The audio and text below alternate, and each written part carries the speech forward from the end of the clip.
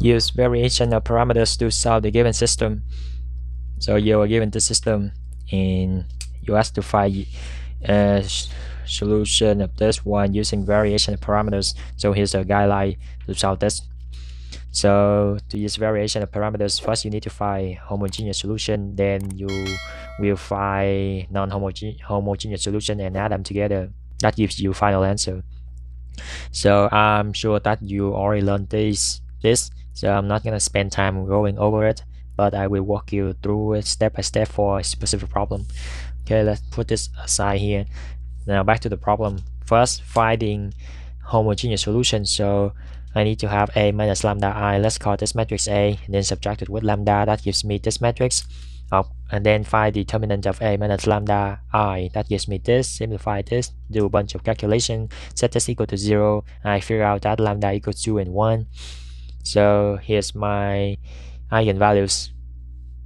So for lambda equal to plug it into A minus lambda i. That gives me this matrix augmented with 0 okay so use the second equation that gives me k1 equals k2 choose k1 1 then vector k, then k2 choose uh, choose k1 equals 1 then k2 is 1 then vector k is 1 1 and vector x1 is 1 1 e to the 2t for lambda equals 1 plug it into a minus lambda i that gives me this matrix augmented with 0 and then use the first equation that gives me k1 equal to k2 choose k2 1 then k1 is 2 then vector k is 2 1 and vector x2 is 2 1 e to the t.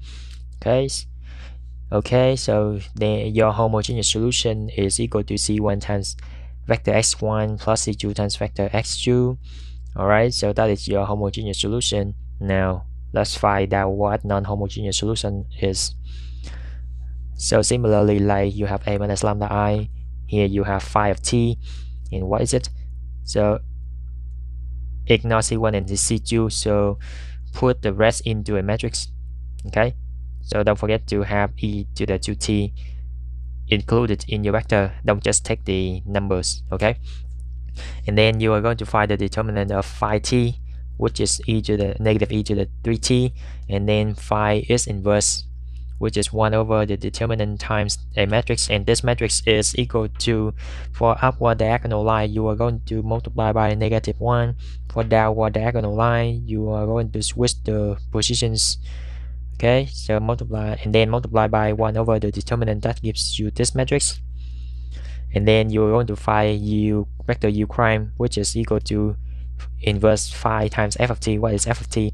f of t is whatever left over when you multiply by x vector x okay?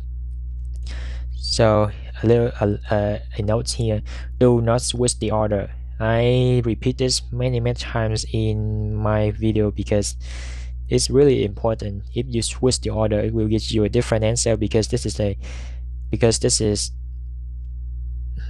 because you multiply matrices together it's not like you multiply number or variables together so a times, for example, a times b is the same as b times a if you have a variables or a number, but it's not the same when you have a mat when you multiply matrix together. Okay, so with this order, multiply this these together, it gives you this one. Simplify it, you will get this one, right? And then if I integrating this one that gives me vector u of t and vector u of t is equal to this one. So integrating this one it gives you this one. Now it's time to write our final answer which is this one. So you have home non-homogeneous solution equals phi of t times u of t. Again multiply matrices together this is the correct order so do not switch the order. Please do not switch the order. Okay so multiply matrices together it gives you this. Okay and then your final solution is equal to homogeneous solution plus non-homogeneous solution which is this one. Okay that's it.